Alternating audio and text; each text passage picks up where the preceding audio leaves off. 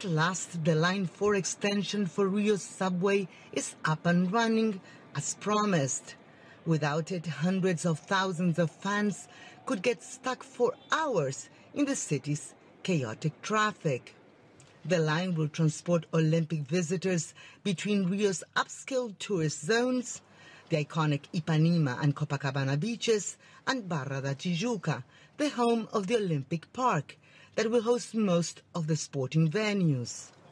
At the ribbon cutting ceremony, Brazil's top officials celebrated the completion of the $3 billion transit project. Today, Rio de Janeiro is the capital of the state, but August 5th, it'll be the capital of the world, and everyone will applaud, as it is doing right now.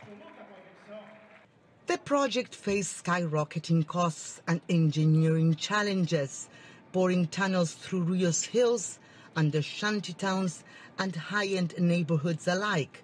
It is 16 kilometers long and it took six years to complete.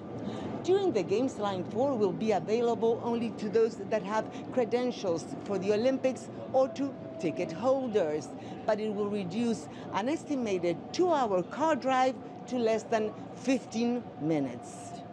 Rio officials say the project, planned for decades, will be one of the enduring legacies of the world's biggest sporting event.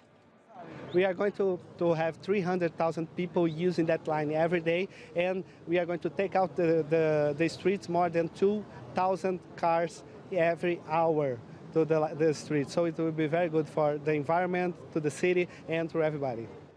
The last minute completion of the Olympic subway extension, however, was no miracle. The federal government extended an emergency loan to the state to help the city get ready for the Games.